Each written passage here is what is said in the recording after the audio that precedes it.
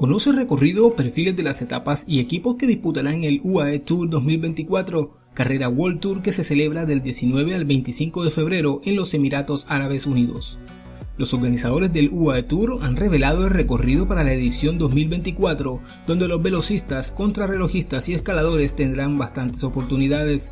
El UAE Tour, que se ha establecido rápidamente como la carrera por etapas más prestigiosa en Medio Oriente, es la única competencia de la región que atiende tanto al pelotón masculino como el femenino del World Tour. Esta será la sexta edición del Tour de los Emiratos Árabes Unidos y verá a los corredores comenzar y terminar en Abu Dhabi, con etapas para velocistas, contrarrelojistas y escaladores. El recorrido del UAE Tour 2024 inicia el 19 y finaliza el 25 de febrero, contando con más de 980 kilómetros de carreras repartidas en 7 etapas, 4 de ellas para velocistas, 2 etapas de montaña más adecuadas para los escaladores del pelotón y una prueba de 12,1 kilómetros de contrarreloj individual. La primera etapa tendrá un tramo inicial de 45 kilómetros que se realiza en medio de carreteras anchas y rectas.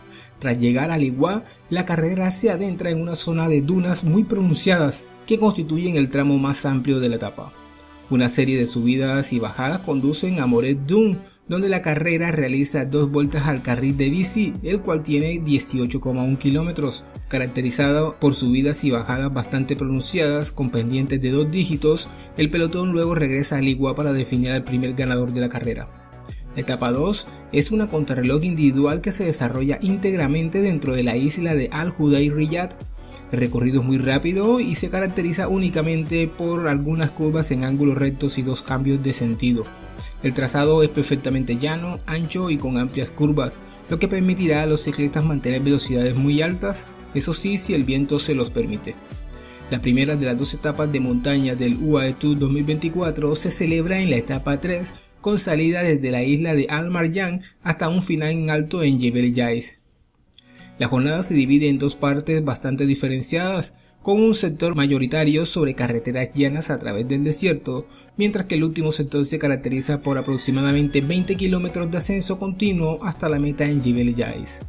La subida final se plantea en medio de curvas cerradas en una carretera muy ancha.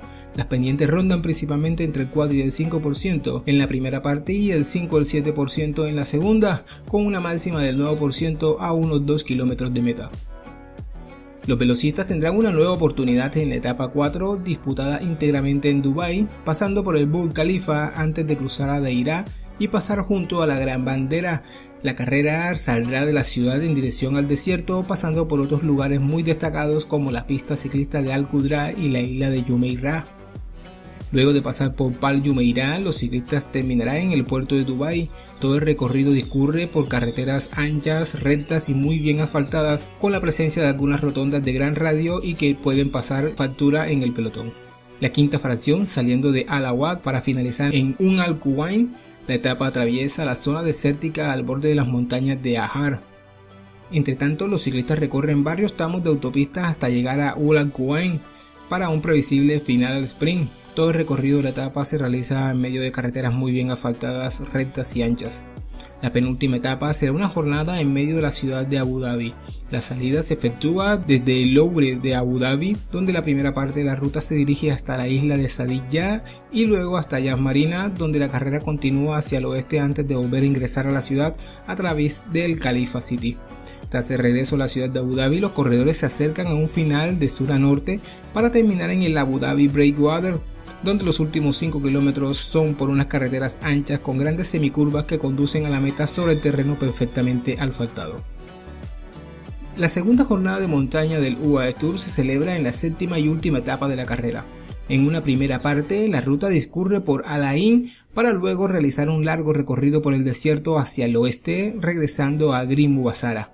Aquí comienza la subida final a Jebel Hafid, que con su escalada de 10 kilómetros será el juez final de la carrera.